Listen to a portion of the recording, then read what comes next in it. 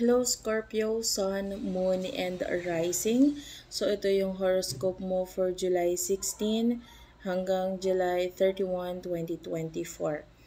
So, uh, Scorpio, um, pagdating sa mga long travel, yan.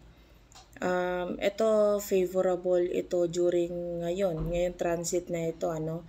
May mga potential na uh, you know, mga situation ngayon na pwedeng magbigay sa iyo ng um, you know, experience or pag-iisip na gawain itong long travel na ito. Dahil actually this time, uh, maaaring mapukaw ng attention mo yung pagdating sa ibang kultura or pagdating sa mga lugar na malayo sa kung nasaan ka ng ngayon. So, kung hindi man literal na pagta-travel, pwedeng nandito yung pag-iisip at pwedeng ideas na mag-travel uh, sa mga susunod na buwan or pagplanuhan itong kailangang gagawain itong pagta-travel na ito.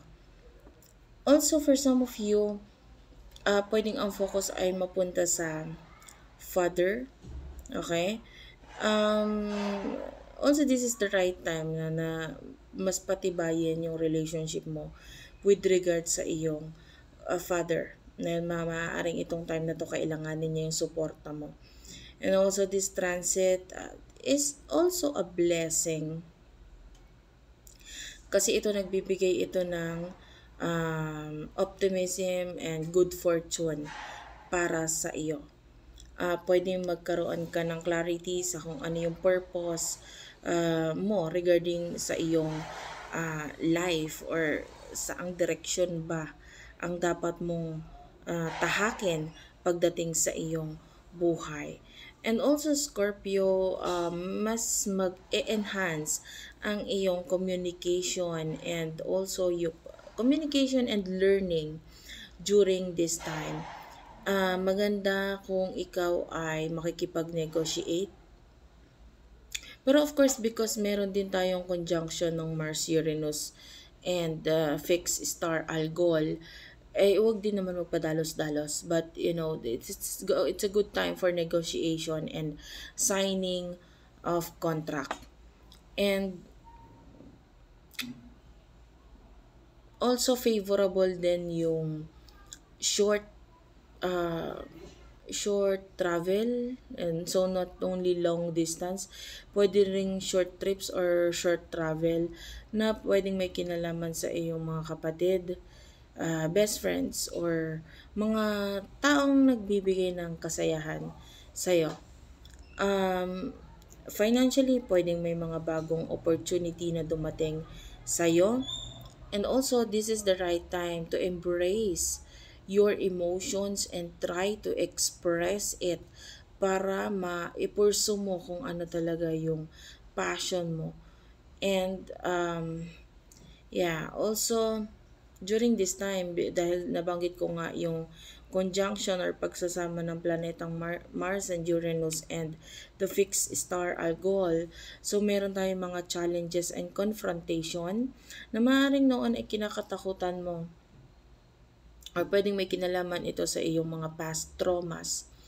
Pero itong time na ito, magkakaroon ng pagharap dito. Parang no choice ka, kailangan mong harapin ito.